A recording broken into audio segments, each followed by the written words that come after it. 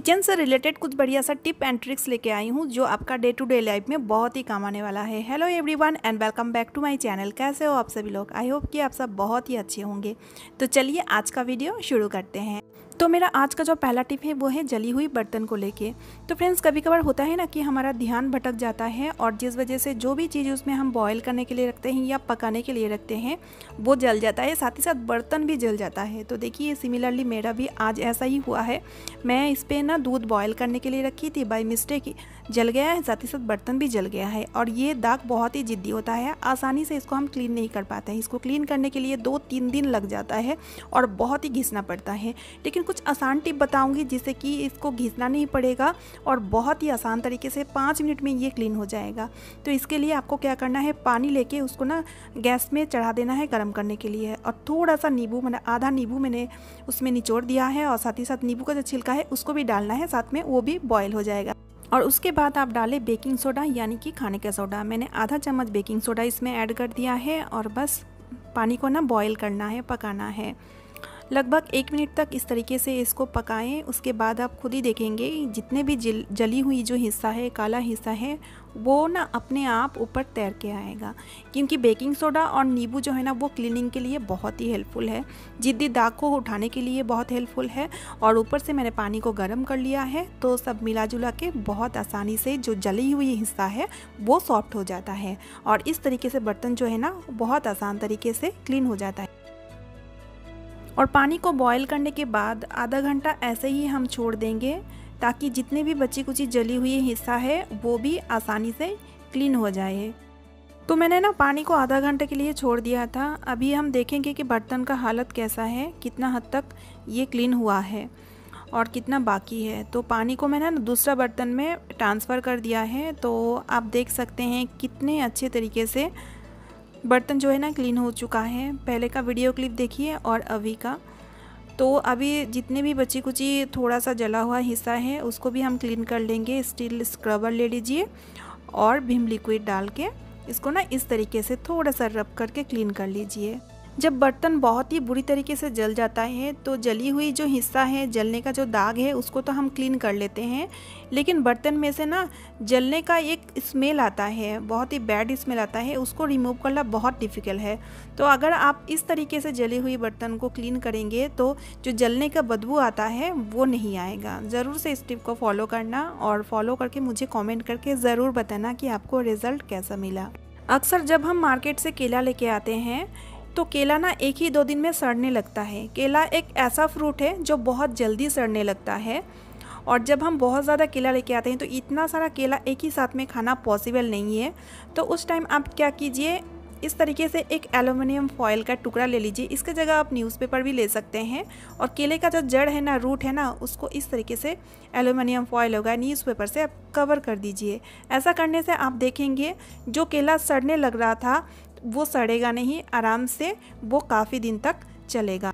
अभी जैसे कि मानसून का सीज़न है एक्चुअली मेरा एक सब्सक्राइबर मुझे कमेंट किए थे कि आप मानसून वाला कोई टिप्स बताइए। तो मानसून वाला जो टिप्स है, वो उसका मैं अलग वीडियो बनाने वाली हूँ बट ये भी मानसून में आपका बहुत ही काम आएगा। अक्सर देखा जाता है, लाल मिर्च जो होता है ना मानसून के मौसम में, बारिश के मौसम में, वो ख़राब होने लगती है, उसमें फंगस आ जाती है। तो उसको बचाने के लिए आप क्या कीजिए गैस जला के तवा या कढ़ाई में इसको हल्का सा रोस्ट कर लीजिए। इसको ना जलाना है, ना पकाना है, इस चीज़ का ध्यान लेकिन आप ज़रूर रखें। आधा सेकंड के लिए इसको इस तरीके से ड्राई रोस्ट करेंगे तो ये आराम से हो जाएगा। अगर आपके पास माइक्रोवेव है तो आप इस काम को माइक्रोवेव में भी कर सकते हैं इजीली। उसके बाद उसको ठंडा कर लीजिए। ठंडा करने के बाद आप जिस कंटेनर में मसाला रखते हैं, मिर्ची रखती हैं, उसमें आप रख दीजिए। देखेंगे ये मानसून सीज़न में भी, बारिश के मौसम में भी ख़राब नहीं होगा। सो गाय सिलबट्टा तो हम कम ज़्यादा सभी यूज़ करते हैं, लेकिन क्या होता है ना, ज़्यादा दिन इसको यूज़ करते करते इसका धार, इसका तेज़ कम हो जाता है। तो आज मैं आप सबके साथ शेयर करूँगी इजीली सिलबट्टा को कैसे हम घर बैठे इसको तेज़ कर सके, इसको धार दिला सके। जो ग्लास का चीज़ें होता है, जो टूट जाती है, उसको मैं फेंकती नहीं हूँ। तो उसको मैं रख देती हूँ और जब भी मुझे सिलवट्टा को धार दिलाना होता है तो इस चीज़ से मैं दिलाती हूँ। अब आप लोग सोचेंगे कैसे पॉसिबल? चलिए वीडियो को ध्यान से देखें। तो इसके लिए आप ले लीजिए मोटा सा एक शॉपिंग बैग। तो इस तरीके का अगर बैग हो तो बहुत अच्छा होगा। और उसके बाद आप पहन लीजिए हैंड ग्लव्स। तो मैंने यहाँ पे रबर का हैंड ग्लव्स पहन लिया है। आपके पास अगर हैंड ग्लव्स नहीं है तो आप क्या कीजिए, पॉली बैग भी हाथ में रैप कर सकते हैं। तो इस तरीके से इस काम को आप सेफ्टीली करें ताकि आपको कोई नुकसान ना हो, आपको चोट ना पहुँचे। जितना भी हो, ये कांच है ना, इसलिए तो देखिए, सबसे पहले ना मैंने सिल को भर लिया है इस बैग में। कोई कोई सिल बोलता है या कोई कोई चौकी भी बोलता है, जो आप बोले। उसके बाद टूटी हुई जो ग्लास का चीज़ें था, उनको भी मैंने भर लिया है। उसके बाद जो बैग का मुँह है ना, उसको मैं अच्छी तरीके से बंद कर दूँगी, ताकि कांच का टुकड़ा बाहर निकल के ना आ पाए। तो इसीलिए देखिए, बैग का जो मुँह है ना, उसको मैंने अच्छी तरीके से बंद कर लिया है, ताकि बट्टा की मदद से इसको धीरे धीरे हम पटकेंगे, यानी कि जो कांच है ना, उसको हम तोड़ेंगे। और ये काम बहुत ही सेफ्टीली किया जा रहा है तो आप लोग बिल्कुल भी मत घबराना और इससे रिज़ल्ट बहुत ही अच्छा मिलने वाला है। तो थोड़ा सा ना मिडिल में मैं चेक करके देख रही हूँ और जो ग्लास का हार्ड वाला पार्ट है ना, उसको मैं हटा दूँगी क्योंकि ये टूटेगा नहीं तो इसलिए उसको मैंने हटा दिया है।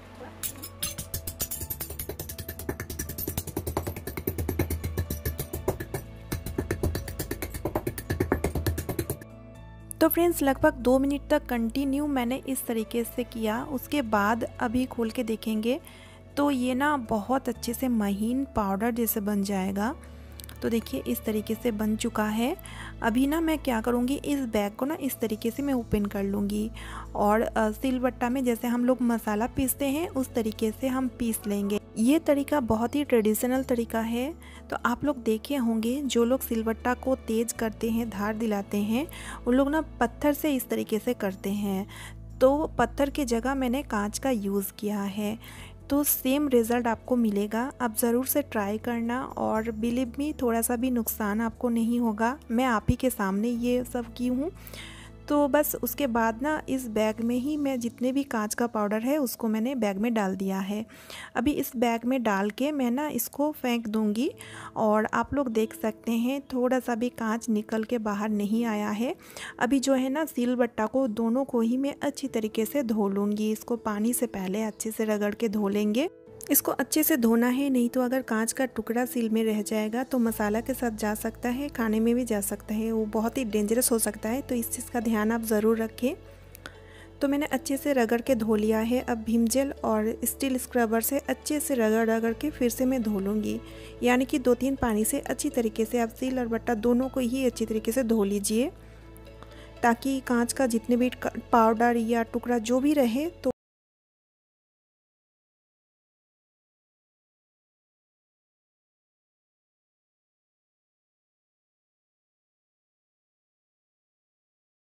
सेल को मैं अच्छे से वाइप कर लूँगी, क्योंकि मुझे लग रहा है अगर कांच का टुकड़ा या पाउडर थोड़ी बहुत गिरा हुआ है तो वो भी अच्छे से क्लीन हो जाएगा।